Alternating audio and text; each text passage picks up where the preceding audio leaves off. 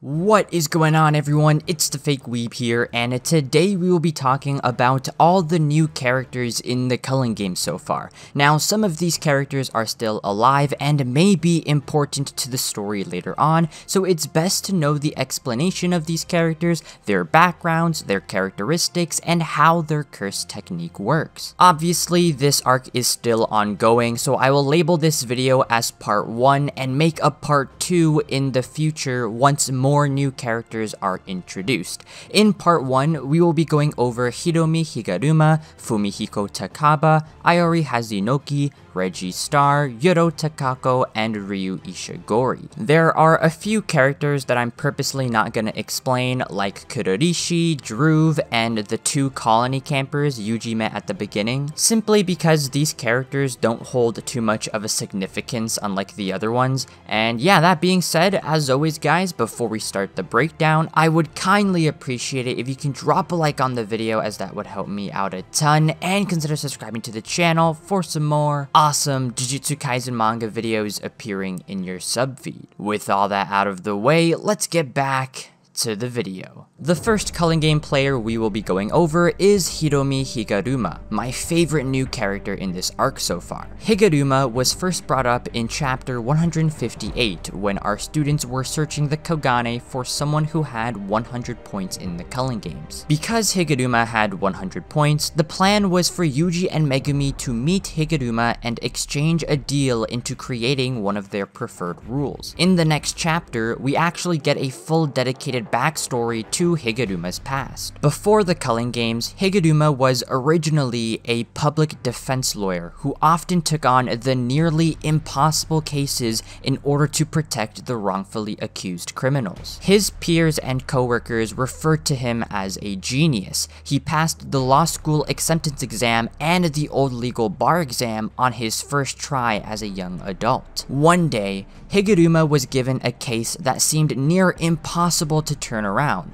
All accusations against his defendant were strong. The defendant's blood matched the same blood on a knife that was used in a nearby homicide. And when the police called him for questioning, he apparently ran away from them. However, Higuruma did end up finding some evidence to prove that the accused criminal is actually innocent, although his efforts never mattered anyway. Because of the justice system being so corrupt, they ended up calling his defendant guilty, and that's when his ideals start kicking in. Higuruma had always wondered about what's truly right and what's truly wrong. What can a just lawyer like him do when the whole court decides that whoever the defendant is, for whatever hierarchy reason, they'll always be guilty? Is it for the reason to keep up with the tradition of guilty until proven innocent, or is it to satisfy satisfy the majority in the room. Whatever it may be, even if the defendant is proven innocent, in some cases, they are still guilty. And so that particular case really opened Higuruma's eyes,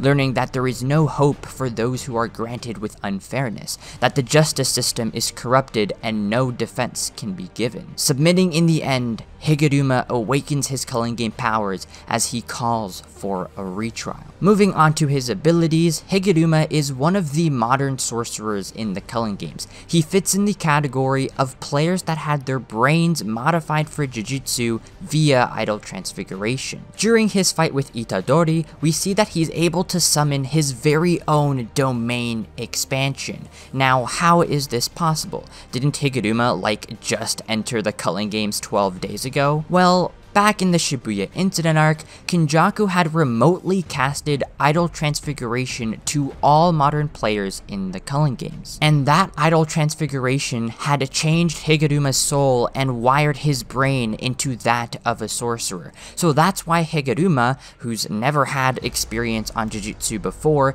is able to quickly learn domain expansion because he's been modified to already have the experience of Jujutsu. Think of it like suddenly suddenly getting a huge XP boost and then skipping many levels in a video game, making you a pro right away. Higuruma possesses a curse technique that allows him to call upon a large Shikigami named Judgment, a very similar situation to Junpei and how his transfiguration got him moon Moondrags. Judgment has three stubbed points that act as an arm and a leg. Each arm holds a scale resembling the appearance of Lady Justice. Judgment is also linked to Higuruma's domain expansion by default.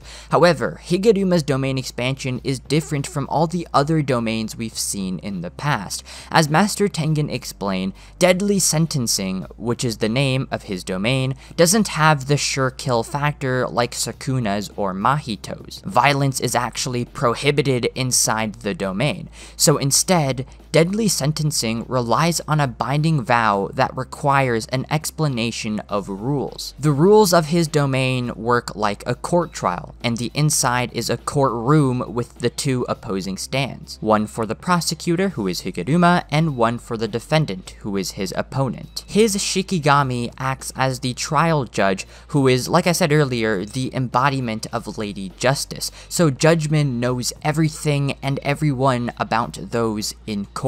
Once given the accusation, the defendant is given three choices confession, denial, or silence. Once the defendant has spoken, the prosecutor uses the evidence to make a statement.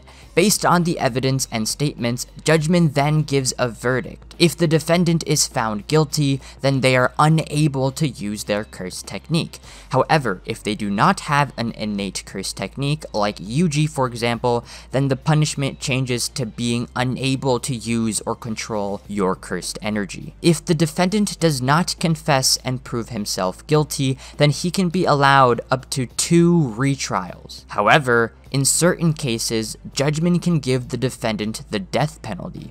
Once that happens, Higuruma gains the Executioner Sword, which is a sword that kills his opponent in one hit, technically the strongest weapon in Jujutsu Kaisen. The next character we will be covering is Fumihiko Takaba, a failed comedian who was turned into a culling game player by Kenjaku via idle transfiguration. This means that Takaba is a modern sorcerer like Higuruma and had his brain modified into that of a sorcerer and gained a curse technique. His curse technique is called a comedian. Now I've seen a lot of misunderstandings with the comedian curse technique. People say his ability is overpowered in that it could rival Satoru Gojo, and yes, while that might be true, it's also not true at the same time. To explain the comedian's curse technique, when Takaba comes up with something that's funny in his head, it becomes a reality. For example, when he's fighting Hazenoki, one of his attacks was poking at him from behind, aka pulling the A Thousand Years of Death move from Naruto. He was able to literally run up on Hazenoki, counter all his explosive attacks, defend his punches, and come from behind him to poke at his rectum. Before he did that attack, he was like, hmm, wouldn't it be funny if I pulled the A Thousand Year Death move from Naruto onto Hazenoki? And boom, he does just that. I guess when you think about it, it does sound like a pretty broken ability. But the catch is that Takaba doesn't know that he has a cursed technique like this. He doesn't know the power he holds. Now, what if Takaba thought that it would be funny if he killed someone in one punch? Well, that's the thing. He can't do anything like that. You see, in chapter 169, Takaba says that in comedy shows, red is prohibited. Red refers to blood, as he means that his comedian curse technique can't make his opponents bleed. In other words, Takaba can't necessarily kill people. And that's true because if we look at his points, he has zero points in the culling games, meaning he hasn't killed anyone yet. When he does that super kick to Hazenoki, we see that Hazenoki was able to get back up again like it didn't hurt. And as they continue to fight in chapter 173, despite Hazenoki being thrown around and crashing through multiple buildings, he still didn't have any serious damage on him. So now you might think that Takaba's curse technique is not so broken because he can't inflict any serious wounds onto his opponent. However, The same goes for Takaba his opponents can't inflict any serious damage on him as well. When Takaba saves Megumi from Hazenoki's deadly explosive attacks, we see that it didn't hurt Takaba at all. Yes, it shows him bleeding, but the blood instantly recovers from his body, since blood is taboo to his comedian curse technique. So this explains why he says zero damage, insinuating that the explosions did nothing to him at all. We get more clues clues in chapter 173 when Hazenoki says, Seriously, what's with this guy? With how many times I've bombed him, he should be dead five times over by now why so little damage? And it shows the damage being his hair twirl. Again, that's why his curse technique is kind of powerful because every opponent he faces, they can't do any serious damage to him as he's basically invincible, but Takaba also can't do any serious damage to his opponents. Meaning that any fight Takaba gets into will always be a gag fight since neither party can win. So yes, in a way, it's OP, but also not OP at the same time, though I gotta give credits to the author, Gege Akutami, for making such a well thought out curse technique like this. The next character on the list is Iori Hazenoki, a sorcerer from the past who was incarnated by Kenjaku for the Culling Games. Hazenoki is a part of Reggie's group who all serves as the antagonist for the number one colony in Tokyo. He is an elite level sorcerer with fundamental knowledge of Jujutsu and enough combat prowess to apply it in a fight. He's highly tolerant to pain, willing to frequently take apart his own eyes and teeth to provide ammunition for his curse technique. Hazenoki's curse technique is explosive flesh. He remotely detonates his own body parts and uses them as bombs. He generally does so by removing his eyes and teeth before using them as projectiles and exploding them on command. Hazenoki also possesses reverse curse technique, a complicated technique that is mainly used to heal any wounds or injuries, so having reverse curse technique means he can easily replace his lost body parts for explosion devices. So this makes it simple for Hazenoki to constantly create bombs and barrage his targets with explosions.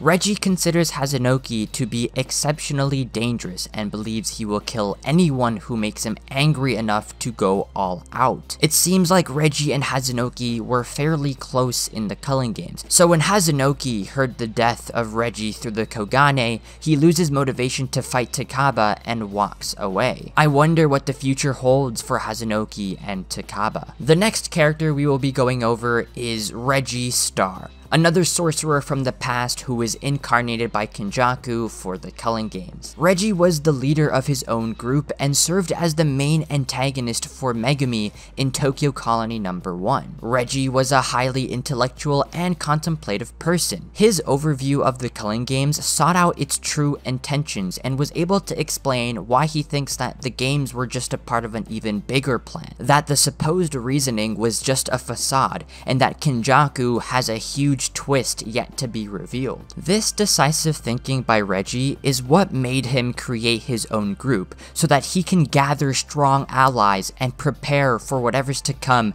in the end stage of the Culling Games. Despite Reggie having a lot of knowledge of the Culling Games, he states that him and Kenjaku weren't close and that he's just a spectator, an onlooker that wanted to see how all the chaos was gonna go down. His high IQ and well thought out planning is one of the things that makes him very strong. The other is his extraordinary curse technique. Reggie's curse technique is called Contract Recreation, an ability that allows him to recreate contracts using receipts. He can manifest what is written on the receipt into real life. For example, during his fight with Megumi, we see that Reggie manifests objects like a motorcycle, a set of kitchen knives, umbrellas, etc. as he has receipts of those items. This explains explains why his clothing is filled with paper receipts, so he can use them whenever in battle. He can even manifest a non-physical object. For example, one of his receipts was a purchase of a 5-star Japanese hotel.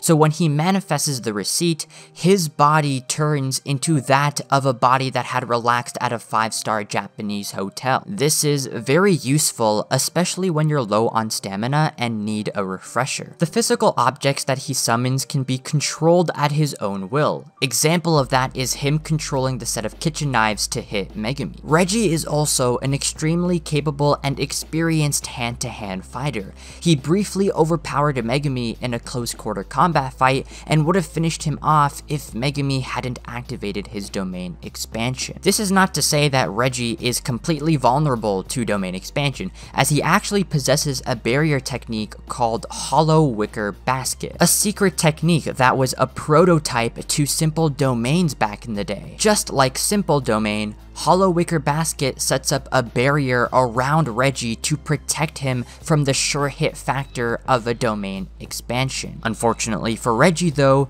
he just had to fight the wrong opponent as Megumi's domain is a special case, where it's incomplete and acts more of a maximum technique to his 10 shadows. In other words, during his fight with Megumi, Hollow Wicker Basket could not protect Reggie from Megumi's domain because Megumi's domain is actually actually less of a domain itself, but more of an extension to his curse technique, and Hollow Wicker Basket as well as simple domains can't nullify curse techniques. So all in all, it was just an unfortunate matchup, but generally speaking, Reggie is an extremely strong sorcerer for having an anti-domain technique in his arsenal. There's not a lot of sorcerers that have simple domains or anything similar, at least from what we've seen. In the end, Megumi won the battle as Reggie gave all his points to him before he bled out. The next character on our list is Uro Takako, a sorcerer from the past who was incarnated by Kenjaku for the Culling Games. In Uro's first life, she was the captain of the Sun, Moon, and Stars Squad, a group of assassins directly affiliated with the Fujiwara clan. The Fujiwara clan were one of the four great families that dominated Japanese politics during the Heian period. In her fight with Yuta, we can see that Uro holds a grudge against the Fujiwaras. Being the former captain of an assassin group that was directly affiliated with them, there might have been a problem between her and working with the Fujiwara family. In chapter 178, it was explained that her Sun, Moon, and Star Squad had wholeheartedly devoted their lives to the Fujiwaras, to the point where they were even denied a name. We then get some more lore that explains Uro's sad past past. Apparently some Fujiwara member had used Uro as a false victim for their doing of killing their own clan. This may have been the root cause of Uro's narcissism. For example, Yuta is in the Culling Games to save Gojo and restore the Jujutsu world. He's in the Culling Games for his friend's sake as he lives for others. Uro, on the other hand, is in the Culling Games just for her own sake.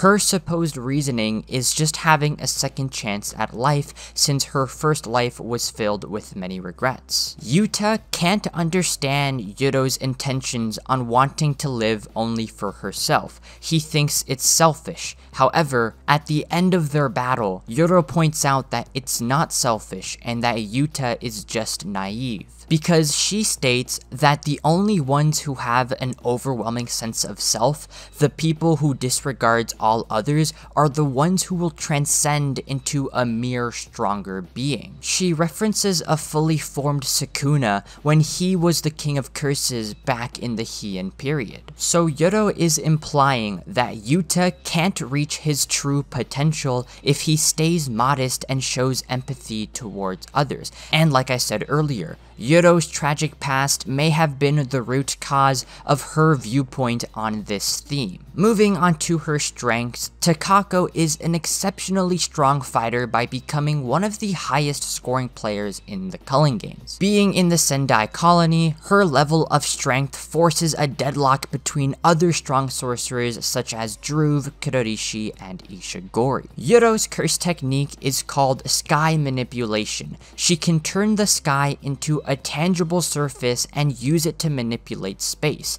In battle, she can defend by distorting the shape of her opponent's attacks. While the surfaces she controls can't crush her opponents directly, Takako can break the surface of the sky like a thin layer of ice and hit her target with the impact. She calls that attack Thin Icebreaker. This allows her attacks to slip past her opponent's guard and generate massive destruction. It's actually such a cool move and pretty hard to defend since it's not Uro hitting you, but Uro hitting the surface of the sky onto you. One of the other sorcerers in the deadlock gave an inference that Uro can also use reverse curse technique. Though we've never seen her use it, we'll just say she has reverse curse technique in her arsenal since Ishigori mentioned it. Uro also possesses a domain expansion, however, we were not able to see that as well due to the physical implications of two other domains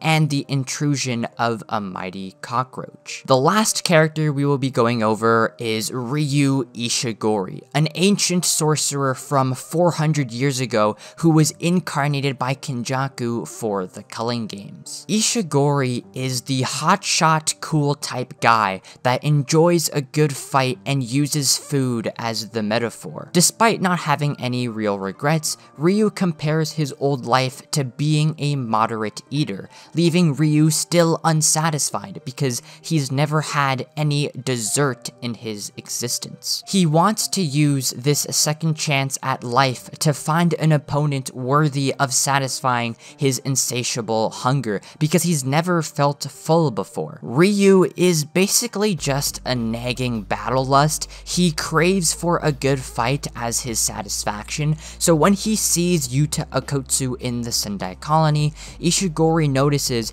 that Yuta has the potential to fulfill his hunger. Moving on to his strengths, Ishigori boasts destructive power and the highest cursed energy output among any player in the Culling games. He was able to score 77 points in 12 days in one of the game's fiercest colonies and forced a deadlock with other exceptional sorcerers like Dhruv, Kurourushi, and Uro. Ishigori's cursed technique is called Cursed Energy Discharge, allowing him to take advantage of his high cursed energy output by firing cursed energy beams from his hair. During his battle with Yuta, we even see that he was able to discharge his cursed energy from his back. Ishigori mainly attacks using Granite Blast, the ability to shoot a massive widespread beam of hyper concentrated cursed energy, packing enough devastating power to decimate several city blocks. At the end of the battle, Ryu is fully satisfied and has no issue with losing to Yuta, but chastises him for sparing both him and Uro. Ryu immediately agrees to transfer his points over to Yuta using the newly established 10th rule, and it is assumed that both him and Uro are going to hang out with Yuta in the Culling Games. Boom! That is all the new significant Culling Game players explained. I hope you guys enjoyed this sort of breakdown, and if you want to see some more in-depth videos of the Culling Games, then be sure to let me know down in the comment section down below. As you guys know, I do read the comment section. I mean, if I don't heart your comment, then it doesn't mean I haven't read it, because I usually get notifications of new comments when I'm at work or at school, and I just don't have like the time to reply, but nonetheless guys, that's all for today's video. Thank you so much for watching another one of my Jujutsu Kaisen breakdowns. It's been the Fake Weeb, and I'm out. Peace.